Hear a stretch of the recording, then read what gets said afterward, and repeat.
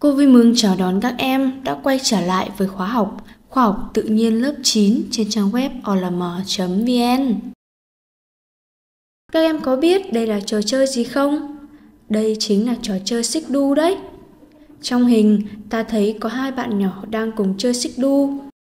Vậy khi chơi xích đu, động năng của người chơi sẽ thay đổi như thế nào khi chuyển động từ vị trí cao nhất đến vị trí thấp nhất? Để trả lời cho câu hỏi này, cô và các em hãy đi vào tìm hiểu nội dung của bài học ngày hôm nay nhé. Động năng, thế năng. Nội dung bài học gồm hai phần chính, phần 1 động năng và phần 2 là thế năng. Ngay bây giờ, chúng ta hãy cùng đến với nội dung đầu tiên nhé. Phần 1 động năng. Trong không khí, các phần tử khí chuyển động tạo thành gió.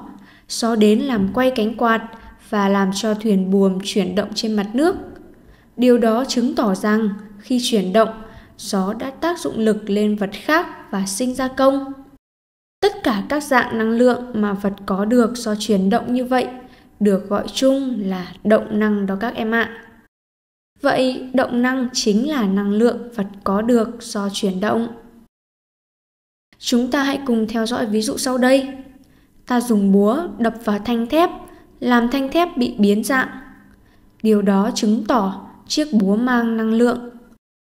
Nếu cùng tốc độ đó, nhưng cô thay bằng một chiếc búa có khối lượng lớn hơn, hoặc vẫn với chiếc búa đó, cô làm cho nó chuyển động nhanh hơn, thì năng lượng này có thay đổi hay không? Các em cùng suy nghĩ nhé. Các em trả lời đúng rồi đấy. Búa có khối lượng càng lớn hoặc chuyển động càng nhanh thì sẽ làm cho thanh thép bị biến dạng càng nhiều, mang động năng càng lớn. Điều này chứng tỏ rằng động năng của vật phụ thuộc vào khối lượng và tốc độ của vật đó. Các em biết không, chúng ta hoàn toàn có thể tính được độ lớn của động năng. Nếu một vật có khối lượng m chuyển động với tốc độ v thì động năng của vật sẽ được xác định bởi công thức VKD bằng 1 phần 2 m nhân v bình phương.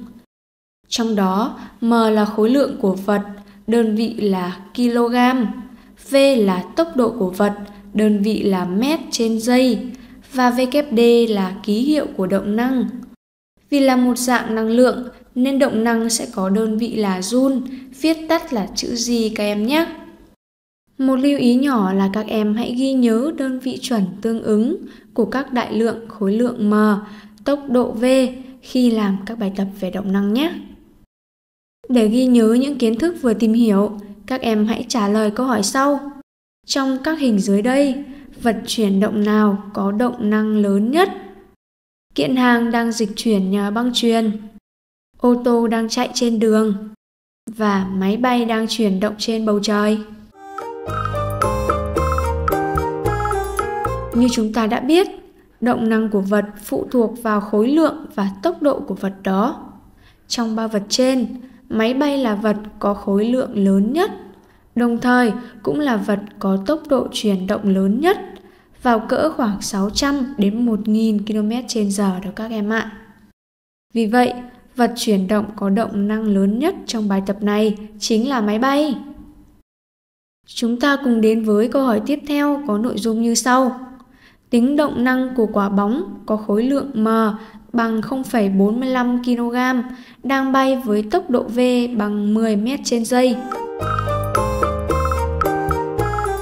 Để làm bài tập này, các em hãy nhớ lại công thức tính động năng mà chúng ta vừa tìm hiểu. VKD bằng 1 phần 2 m nhân v bình phương. Ở đây, khối lượng vật đã cho là m bằng 0,45 kg V bằng 10 m trên giây. Thay số vào, ta sẽ tính được động năng của quả bóng là 22,5 Joule.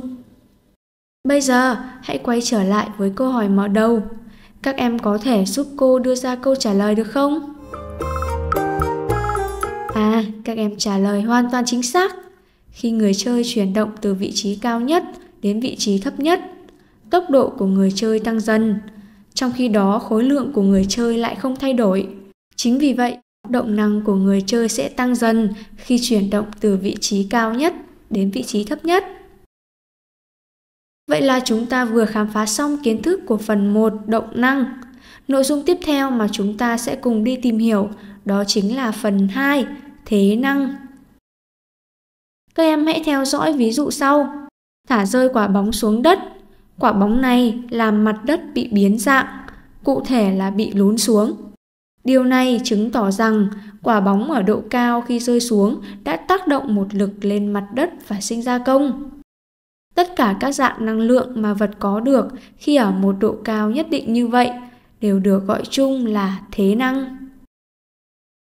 Thế năng chính là viết tắt của thế năng trọng trường, là năng lượng của một vật khi nó ở một độ cao nhất định so với mặt đất hoặc so với một vị trí được chọn làm gốc tính độ cao. Các em hãy tiếp tục theo dõi ví dụ thả quả bóng rơi.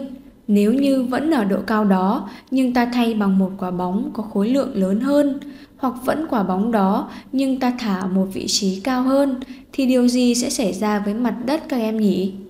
Hãy suy nghĩ và cho cô câu trả lời nhé. Đúng rồi đấy, khi đó mặt đất sẽ bị lún sâu hơn và biến dạng nhiều hơn. Điều này chứng tỏ rằng vật có trọng lượng càng lớn và ở độ cao càng lớn thì thế năng của vật sẽ càng lớn. Chúng ta hoàn toàn có thể xác định được cụ thể độ lớn của thế năng thông qua công thức VKT bằng P nhân H. Trong đó, P là trọng lượng của vật, có đơn vị là Newton và H là độ cao của vật so với vị trí mà các em chọn làm gốc, đơn vị là mét. Thông thường thì người ta sẽ chọn mặt đất là gốc thế năng đó các em ạ. Các em đừng quên công thức tính trọng lượng đã được học ở các lớp trước. Trọng lượng P bằng 10 lần khối lượng M và ghi nhớ đơn vị của khối lượng phải là kg nhé. Cô lấy ví dụ, một bạn nhỏ có khối lượng M bằng 40 kg thì trọng lượng của bạn đó sẽ là 10 nhân 40 và bằng 400 Newton các em nhé. Các em hãy vận dụng kiến thức mà chúng ta vừa tìm hiểu để trả lời câu hỏi sau đây.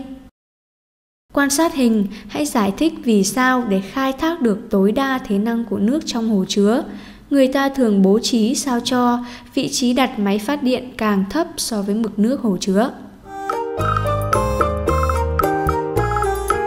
Các em trả lời hoàn toàn chính xác.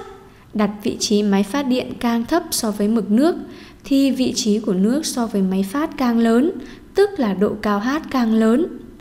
Khi đó thế năng tích trữ sẽ càng lớn và lượng điện năng mà ta chuyển hóa được sẽ càng lớn phải không nào? Bây giờ chúng ta sẽ tiếp tục bài học với một câu hỏi có nội dung như sau. Trong hình bên, chậu cây nào có thế năng lớn nhất?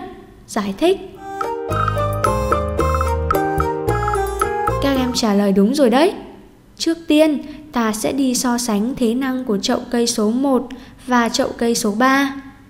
Hai chậu cây này có cùng khối lượng, nhưng chậu 1 ở vị trí cao hơn nên sẽ có thế năng lớn hơn. Tiếp theo đó, ta sẽ so sánh thế năng của chậu cây số 1 và chậu cây số 2. Hai chậu cây này ở cùng một vị trí, nhưng chậu số 1 lại có khối lượng lớn hơn chậu số 2.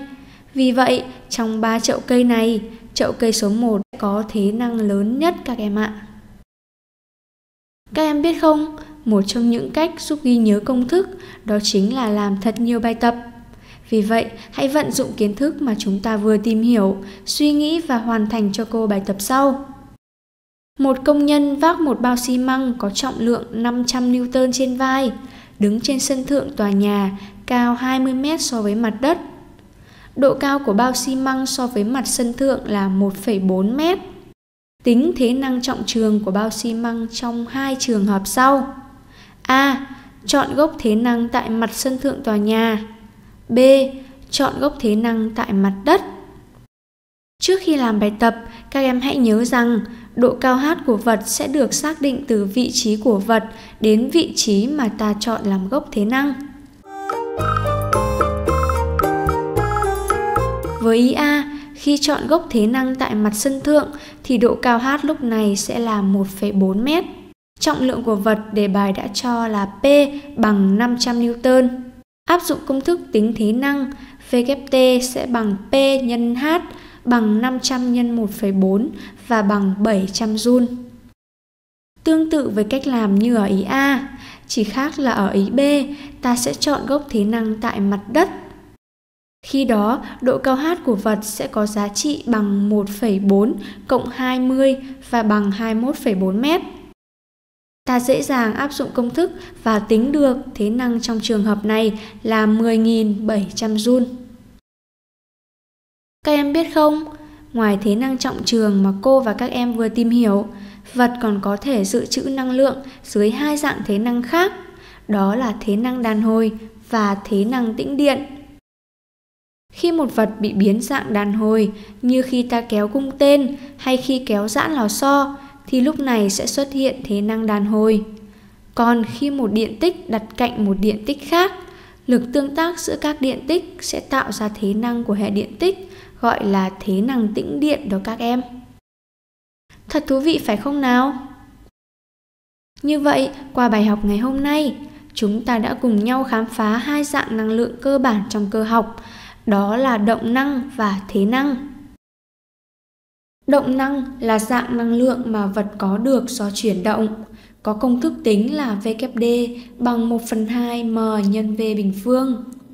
Còn thế năng là năng lượng mà vật có được khi nó ở một độ cao nhất định so với mặt đất hoặc so với một vị trí được chọn làm gốc. Công thức tính của thế năng là VKT bằng P nhân H. Bài học của chúng ta sẽ kết thúc tại đây. Cảm ơn các em đã chú ý theo dõi nội dung bài giảng. Hãy tham gia khóa học tại olm.vn và đừng quên ấn theo dõi kênh học trực tuyến cùng olm các em nhé. Xin chào và hẹn gặp lại.